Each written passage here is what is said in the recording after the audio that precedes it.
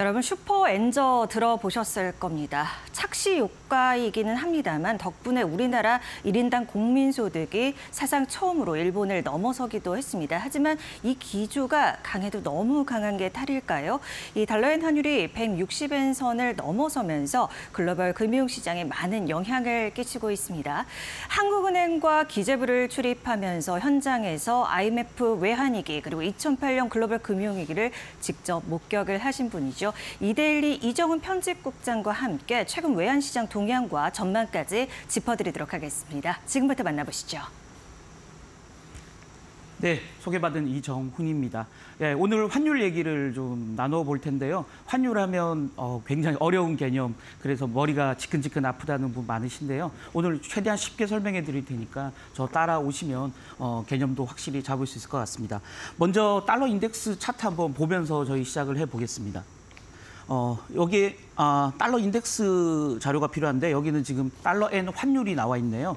그래서 사실상 달러 인덱스 얘기부터 사실은 먼저 좀 하겠습니다. 달러 인덱스는 달러화의 가치를 보여주는 지표다 이렇게 이해하시면 될 것 같고요.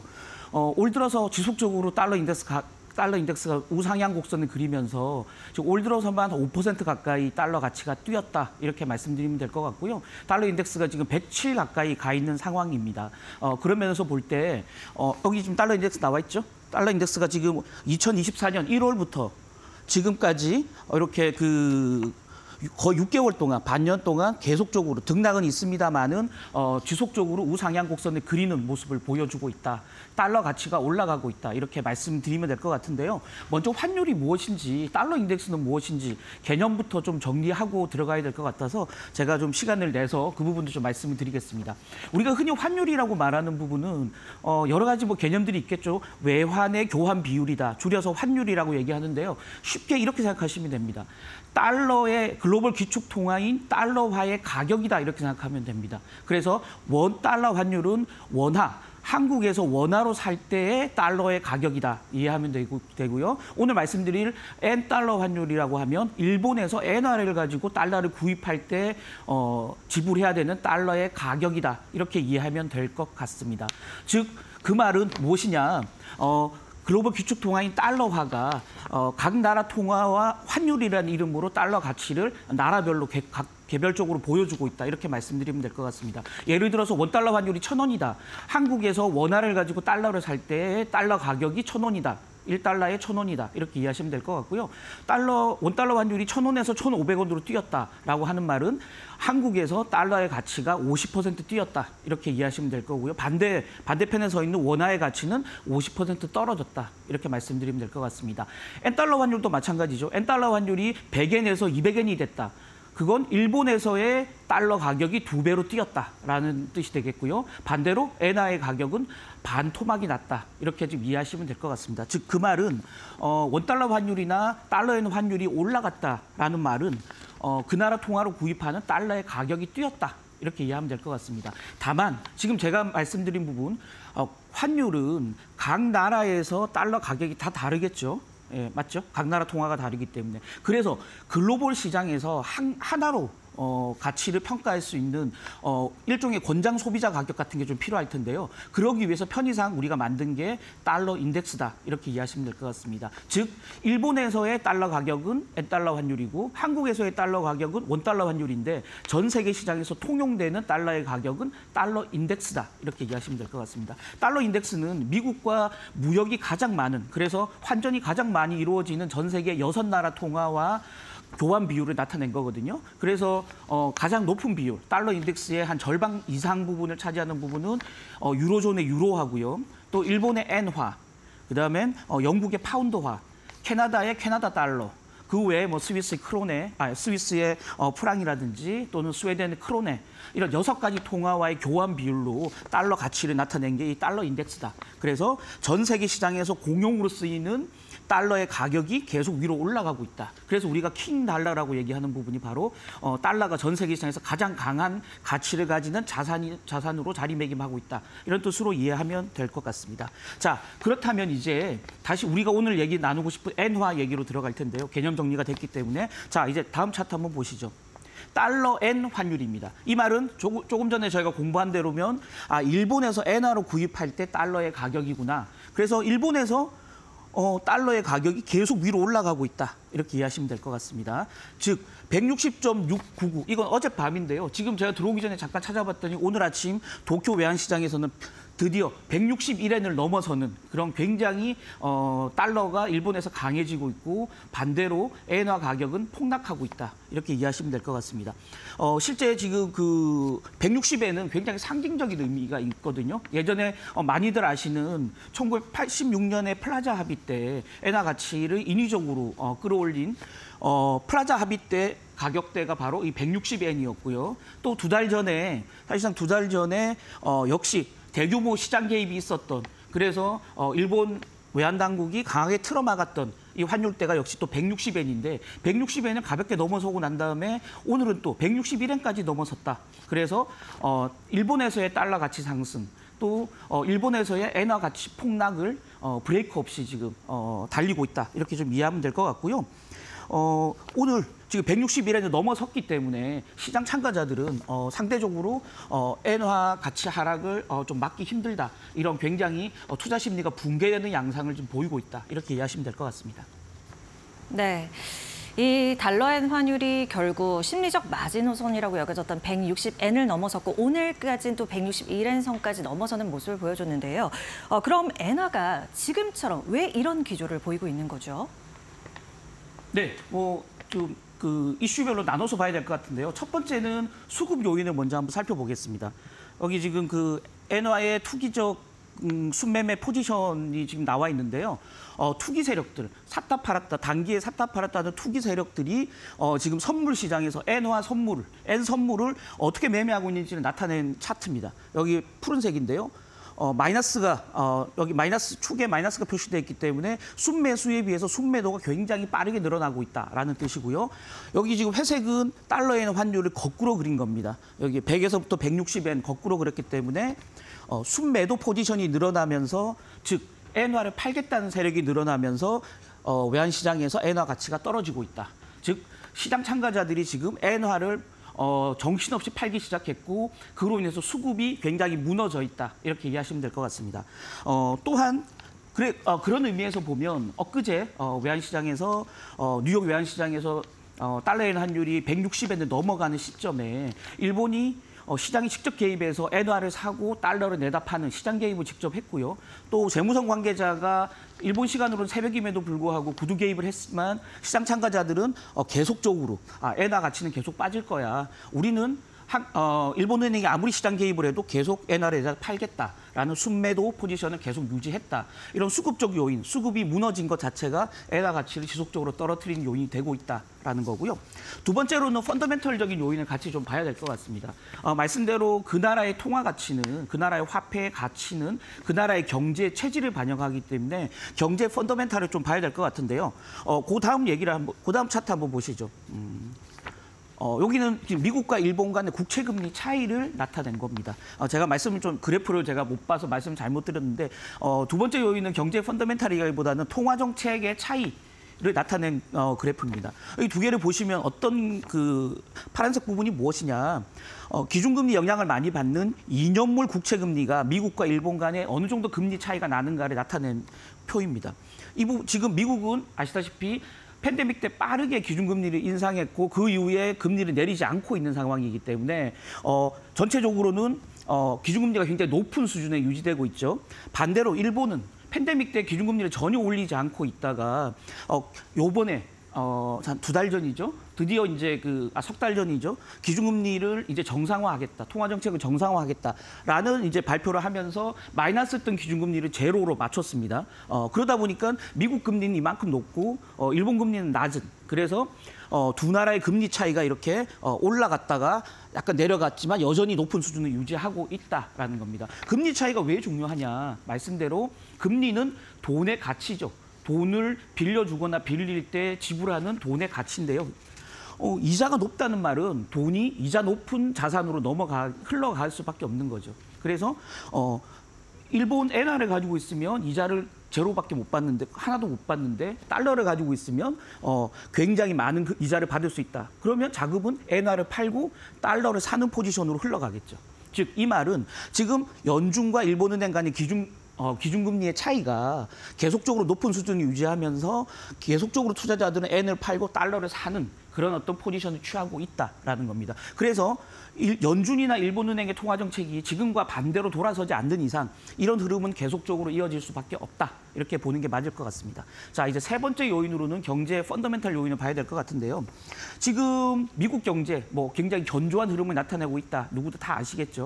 최근 들어서 고용 지표가 조금 흔들리고 있습니다만은 성장률 지표라든지 제조업 서비스업 지표는 굉장히 좋은 흐름 계속 이어가고 있는 상황입니다. 반대로 일본 경제 같은 경우는 작년 말에 좀 살아나는 듯한 모습을 보이다가 지금 다시 올 들어서 저조한 흐름을 보이고 있는데요. 어, 전기 대비 어, 일본의 GDP 성장률을 보면 작년 3분기에 마이너스 3.7이었다가 4분기에 플러스 0.4로 어, 그 플러스 성장으로 돌아섰지만 올 1분기에 다시 마이너스 1.8% 마이너스 성장으로 다시 꼬꾸라지고 있다라는 겁니다. 세부적인 지표를 한번 같이 들여다보시면 여기 회색으로 나타낸 게 일본의 제조업 PMI거든요. PMI는 50을 기준으로 해서 50을 넘어가면 경기가 확장 국면이다. 50 밑으로 내려가면 경기가 위축된 수준이다라는 걸 보여주는 건데요. 어, 일본 제조업 경기는 계속 위축 수준을 유지하다가 반등하면서 지금 50을 가까스로 넘은 상황입니다. 어, 일본 제조업 경기가 조금 나아지고 있다. 수출 경기가 좋으니까요. 나아지고 있다. 다만 50을 간신히 넘는 수준으로 아직까지 본격적인 회복세는 아니다. 이렇게 좀 봐야 될 것 같고요. 일본의 서비스업, 지금 이 초록색으로 나타낸 건데요. 일본의 서비스업은 어, 생각보다 빠르게 늘어나고 있다가 최근 들어서 여기 끄트머리가 꺾여 있는 모습을 보이시겠죠?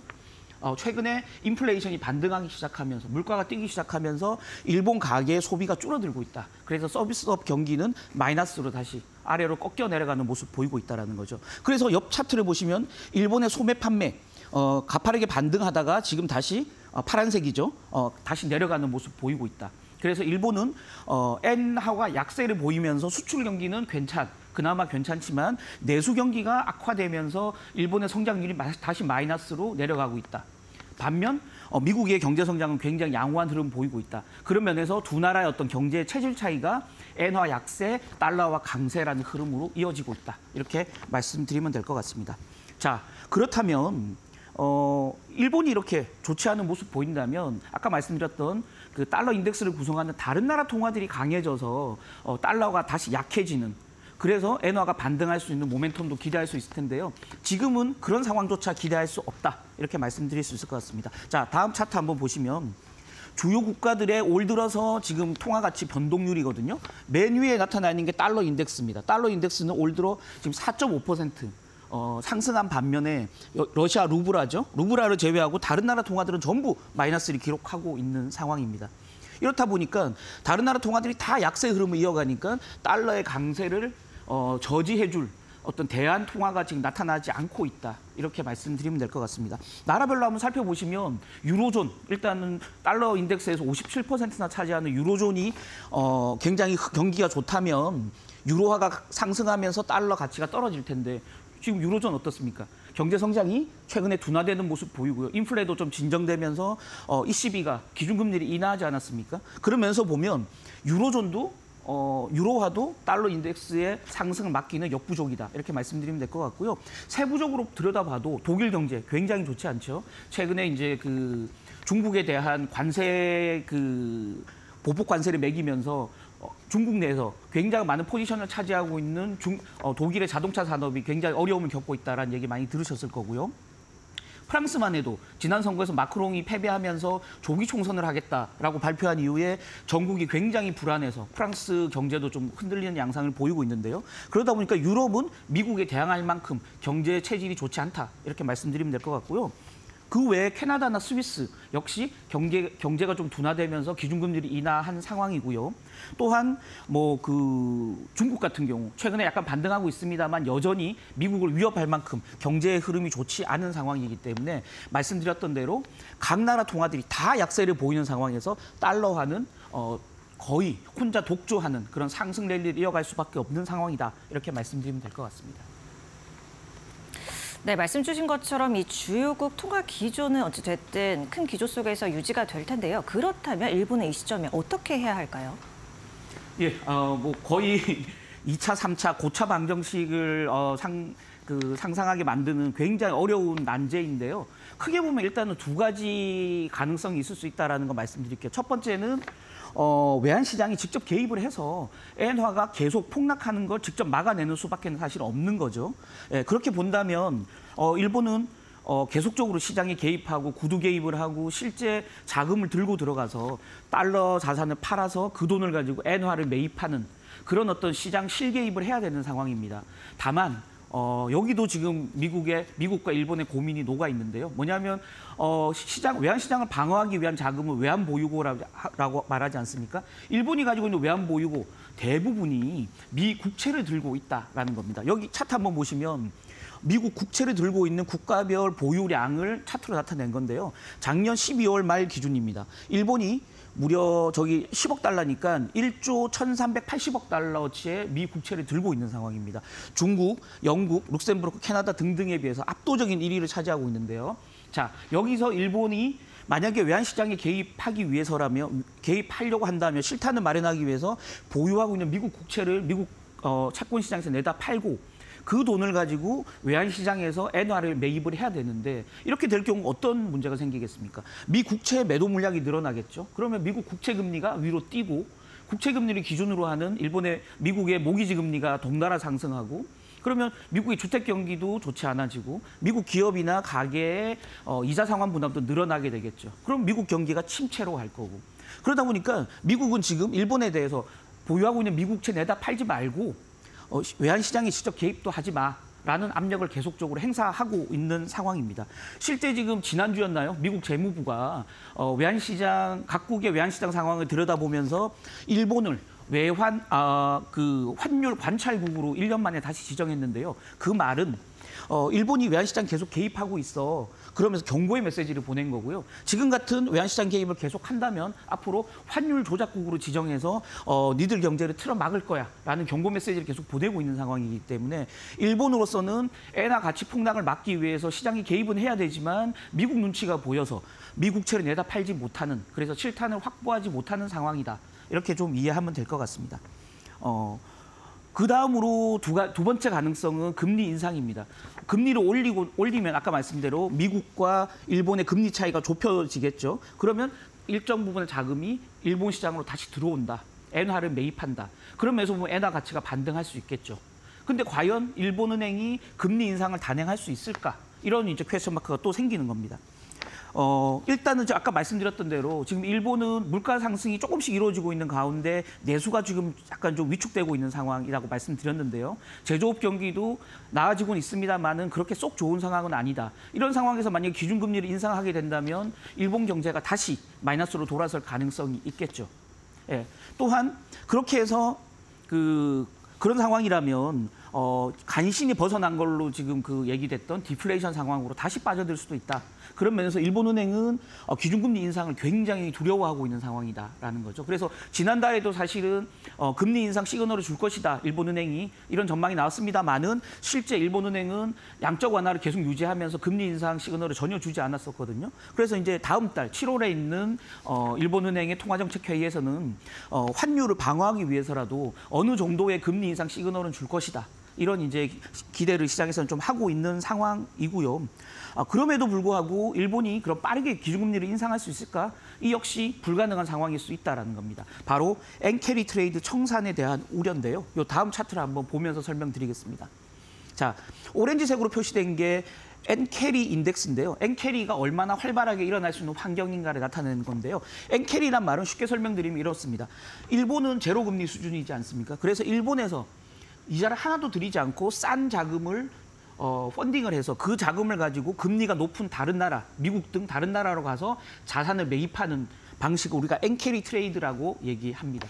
근데 문제는 이런 거죠. 일본이 기준금리를 인상하게 되면 시장금리가 동반돼서 올라가겠죠. 그렇다면 어, 엔캐리 트레이드를 통해서 해외 자산을 매입한 투자자들은 어, 자산을 팔아서 그 돈을 가지고 어, 일본에서 조달한 자금을 갚아야 되는 상황이 생기는 어, 생길 수밖에 없는 거죠. 왜냐하면 캐리 자금 자체에 손실이 나기 때문에 그렇다면 전 세계 자산 시장 엔캐리 트레이드가 청산되면서 전 세계 자산 시장의 매도 물량이 늘어나면서 글로벌 시장이 흔들릴 가능성이 있다. 그런 면에서 일본은행이 과감하게 기준금리 인상을 좀 빠르게 가져갈 가능성도 극히 어, 낮다 이렇게 말씀드리면 될 것 같고요. 다만 뭐 가능한 방법이 있다면 어, 엔, 그 엔화 매수를 늘리기 위해서 일본 정부가 일본 기관 투자가들한테 압력을 행사해서 일본 기관 투자가들이 해외에 가지고 있는 자, 투자 자금들 여기 파란색입니다. 일본이 가지고 있는 외국인 포트폴리오 외국 해외 포트폴리오 투자하고 있는 금액인데요. 저 부분이 지금 끄트머리에 늘어나고 있죠.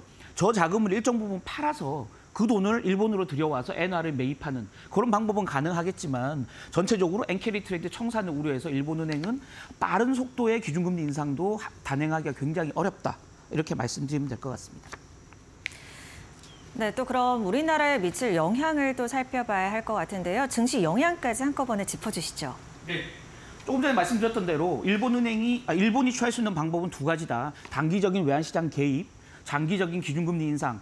두 가지 가능성이 있지만 둘 다 사실은 어, 적극적으로 채택하기는 굉장히 어렵다라는 점에서 둘 사이에서 미묘한 어떤 갈아타기 또 발빠른 대응, 유연한 대응이 필요할 텐데요. 그에 따라서 어, 엔화 환율, 달러 환율, 원화 환율이 빠르게 큰 폭의 변동성을 보일 가능성이 굉장히 높다라는 점에서 우리도 어, 엔화 약세의 그 폭풍 속에서 자유로울 수 없다 이렇게 말씀드리면 될 것 같고요. 여기 원엔 환율 차트가 있습니다. 원엔 환율이라면 아까 저희가 처음에 공부했던 대로 지금 설명하자면 한국에서 원화로 사는 엔화의 가격을 말하는 거죠. 엔화 가격이 이렇게 빠르게 지금 떨어지고 있는 상황입니다. 그 말은 원화에 비해서 엔화가 더 빠르게 약세를 보이고 있다라는 거죠. 예. 그럼에도 불구하고 엔화가 계속 빠지고 위안화 가격도 계속 빠지면서 원화도 계속 지금 가치가 하락하고 있는 상황이죠. 지금 오늘 아침에 지금 들어오기 전에 봤더니 한 1,390원 가까이 지금 원달러 환율이 움직이고 있는 상황인데요. 어, 어제 사실은 뭐 1,400원 그 목전까지 갔다가 지금 계속 1,400원에서 조정을 좀 받고 있는 상황입니다만은 어, 엔화 가치가 추가적으로 폭락한다면 하락한다면 원화 가치도 어, 더 빠질 수밖에 없는 상황이고요. 그렇게 된다면 원달러 환율이 1,400원 위에 안착하는 상황도 어, 불가피할 수밖에 없겠다. 이렇게 설명드리면 될 것 같습니다. 어, 역시 어, 원, 우리도 엔화 약세의 그 영향권에서 자유로울 수 없다. 또 원화 가치가 덩달아서 동반해서 어, 원화 가치가 약해질 수밖에 없다. 이렇게 좀 이해하시면 될 것 같고요. 어, 특히나 아까 말씀드렸던 대로 두 가지 옵션 중에서 만약에 일본의 기관 투자가들이나 일본의 중앙은행이 어, 미국의 국채를 내다 판, 판다거나 해외 자산을 매각해서 그 자금을 통해서 시장 개입을 하려고 한다면 해외 시장이 불안해지면서 우리나라 어, 원화 시장도 굉장히 불안한 양상을 보일 수밖에 없다. 이러면 이렇게 될 것 같고요. 그 다음 차트 한번 좀 보시죠. 어, 그 다음 차트에서 그, 그 제가 방금 말씀드렸던 부분을 확인할 수 있는데요. 여기 파란색이 코스피 지수입니다. 또 검은색은 달러 인덱스입니다. 달러 인덱스는 지금 거꾸로 그린 거거든요. 그래서 70에서 120까지니까 어, 검은색은 아래로 향할수록 어, 달러 가치가 올라간다는 것 뜻하고요. 코스피는 어, 제대로 그렇기 때문에 코스피가 지- 지금 둘 사이에 어, 움직임이 반대로 나타나고 있죠. 보십시오. 어, 파, 검은색이 아래로 내려가면서 달러 가치가 올라가면서 코스피 지수가 동반해서 지금 시차를 두고 하락하고 있고요. 여기도 역시 어, 변동성은 있습니다만은 달러 가치가 올라가면 코스피 지수는 떨어지고 달러 가치가 떨어지면 코스피 지수는 위로 올라가는 어, 이런 역의 상관관계를 보이고 있더라라는 겁니다. 그래서 달러가 계속 강하고 엔화가 약세로 간다면 코스피 지수는 추가로 하락 압력을 받을 수밖에 없다라는 점에서 우리 투자자들도 굉장히 좀 유의해야 되는 구간에 와 있다라는 거고요. 당분간 시장에 참여하기 위한 시장 참가자들의 입장에서는 이 각국의 환율 변동, 외환 시장 움직임을 예의주시해야 된다 라는 거죠. 어, 그다음 차트 한번 보시면 그렇다면 어떤 부분이 유의해야 될 것인가? 여기 두 가지 상관계수를 제가 그려왔는데요. 여기 어, 파란색으로 된 부분은 외국인 순매수와 원달러 환율 간의 상관관계입니다. 상관관계가 제로는 관계가 전혀 없다라는 거거든요. 거의 관계가 없는 수준입니다. 그러니까 즉 원달러 환율에 따라서 최근 원달러 환율 움직임에 따라서 외국인들이 샀다 팔았다를 하지 않고 있다라는 거죠. 다만 이 회색으로 된 부분은 코스피 변동성 지수와 원달러가 환- 환율 간의 상관계수를 그린 건데 일에 굉장히 가깝게 올라가 있죠. 이 말은 원달러 환율이 움직일수록 코스피 시장의 변동성 지수가 빠르게 움직이더라라는 겁니다. 그, 그 말은 원달러 환율이 어, 추가적으로 상승한다면 외국인이 우리 주식을 내다 파는 것보다 코스피 시장이 불안하게 널뛰는 양상으로 갈 가능성이 굉장히 크다. 이렇게 이해해야 될 것 같고요. 그런 면에서 본다면 어, 외환시장의 불안 요인을 감안해서 포지션을 좀 안정적으로 가져가는 전략들이 좀 필요하다. 최근 우리 코스피 시장에서 외국인 매- 투자자들의 움직임을 보니까 주로 사고 있는 종목들이 이런 겁니다. 어, 통신, 필수 소비재, 유틸리티, 어, 대표적인 증시의 방어주들이지 않습니까? 그리고 또한 금융주를 많이 사고 있습니다. 외국인들은 한국 시장에서 화- 외환 시장의 변동성 요인 때문에 안정적 포지션을 취하고 있다라는 거고요. 우리 투자자들도 외국인 투자자들의 포지션을 참고해서 안정적이고 방어적인 어떤 그 주식의 포지션을 늘릴 필요 있겠다라는 거고요. 어, 또 하나는 원화 가치가 계속 떨어져서 원달러 환율 위로 올라간다면 우리 수출 시장에는 도움이 되겠죠. 그러면서 본다면 수출주에 대한 관심도 좀 필요하다. 최근 양호한 흐름을 보이고 있는 뭐 삼성전자라든지 현대차 뭐 이런 종목들이 대표적인 우리 수출주일 텐데요. 그 외에도 뭐 조선 관련 주들 뭐 그 외에도 뭐 최근에 이제 그 수출 효자 노릇을 하고 있는 화장품, 음식료, 방산 이런 관련 주들도 어, 원화 가치가 계속 떨어지면서 수혜를 볼 수 있는 종목들이기 때문에 관심을 가질 필요가 또 있겠다 이렇게 말씀드려도 될 것 같고요. 어, 또 하나 외국인 투자자들이 그나마 관심을 가지는 밸류업 기업들 우리 기, 우리 어, 통화당국의 어, 금융당국의 기업 밸류업 프로그램들이 지금 한창 벌어지고 있는데 외국인 자금이 들어올 가능성이 있는 금융주라든지 어, PBR이 굉장히 낮은 저평가주에 대한 관심도가 굉장히 필요하겠다라는 겁니다. 결국 오늘 제가 드린 말씀은 어, 외환시장의 불안 요인이 계속적으로 이어진다. 시장에서는 안정적인 포지션을 가져가고 어, 원화 가치 하락에 따른 수혜주들에 대한 관심이 필요하다. 이렇게 정리하면 될 것 같습니다. 오늘 준비한 내용은 여기까지고요. 어, 다음 주에 또, 어, 또 다른 정보로 인사드리겠습니다. 지금까지 이정훈이었습니다.